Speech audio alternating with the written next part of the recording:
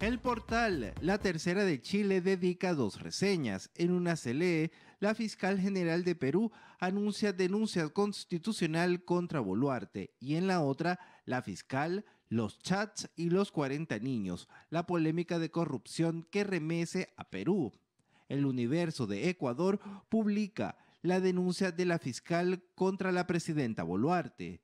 El deber de Bolivia titula fiscal general de Perú investigada por red de corrupción. En Colombia, NTN 24 destaca el accionar de la fiscal contra la mandataria cuando se hizo público el escándalo de corrupción en el Ministerio Público. En Europa, France 24 lo resume como un choque de poderes. Radio Televisión Española destaca que la fiscal denuncia a la presidenta tras crisis en el organismo. La Deutsche Welle de Alemania resalta que la corrupción ensombrece la gestión de la fiscal. La televisión rusa también hizo dos reseñas. En la primera titulan, líder de una red criminal piden la dimisión de la fiscal que persiguió a Pedro Castillo. También dedica una segunda publicación con la versión de la presidenta de la República. Boluarte condena la sospechosa denuncia en su contra.